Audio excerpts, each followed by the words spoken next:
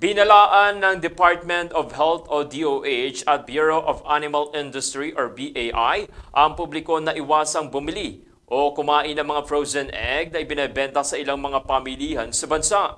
Anila posibleng magdulot kasi ito ng food poisoning dahil delikado ito sa salmonella at E. coli bacteria.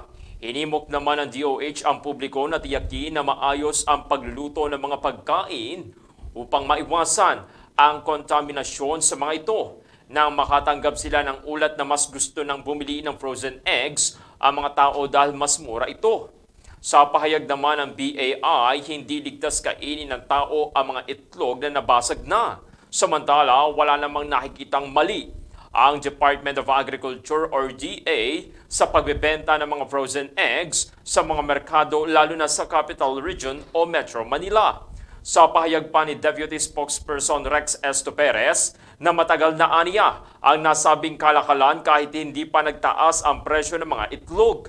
Paliwanag pa nito na ginagamit ang nasabing mga frozen eggs sa paggawa naman ng mga tinapay dahil na rin sa nakakamura ang mga panadero. At yan po ang ating newsfeed of the day. Ito po si Jay Pamintuan. Magandang hapon.